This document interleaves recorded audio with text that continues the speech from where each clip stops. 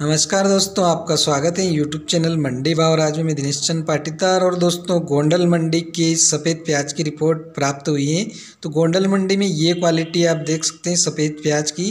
चार सौ एक रुपये प्रति बीस किलोग्राम बिका है। प्रति बीस किलोग्राम के भाव वहाँ पर रहते हैं तो पूरे दो हज़ार पाँच रुपये प्रति क्विंटल के हिसाब से बिका है। इसके साथ ही ये वाइट प्याज की क्वालिटी है, दूसरी क्वालिटी जो चार सौ इकतालीस रुपये प्रति बीस किलोग्राम बिका है।